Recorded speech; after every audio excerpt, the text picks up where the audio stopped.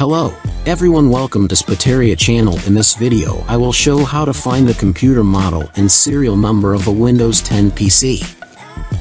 On Windows 10, the computer model number information can come in handy in many situations.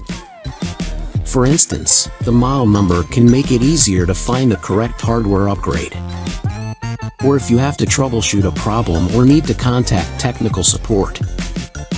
It can also come in handy to catalog the device in an inventory.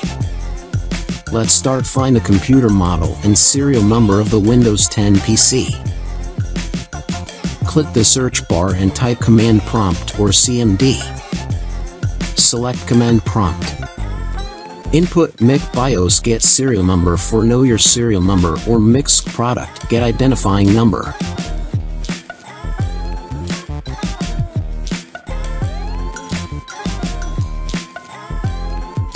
Input mix product get name for no computer model.